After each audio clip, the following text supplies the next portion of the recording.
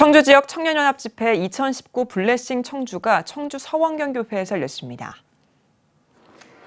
청주 청년연합팀 블레싱 청주와 청주 성시화운동본부가 공동 주관해 씬 있어라는 주제로 진행한 이번 집회는 리조이스 찬양팀의 찬양과 서원경교회 황순환 목사의 축복 기도로 시작됐습니다. 첫 게스트로 나선 가수 비와이는 자신의 히트곡을 선보이며 간증했습니다. 또 강사로 나선 크리에이티브 디렉터 한명수 이사는 하나님은 인간에게 이름을 짓는 특권을 주셨다며 자신만의 이름 짓기와 생각의 전환을 통해 삶을 디자인하는 청춘이 되길 바란다고 전했습니다.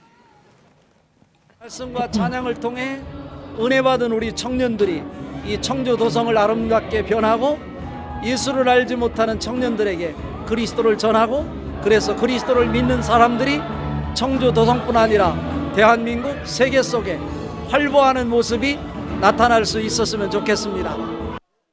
청년 세대 회복을 위한 청주 지역 각 교회 청년부 리더들의 자생적인 모임으로 출발한 블레싱 청주는 지난 2018년부터 매년 봄과 가을 연합 집회를 개최하고 있습니다.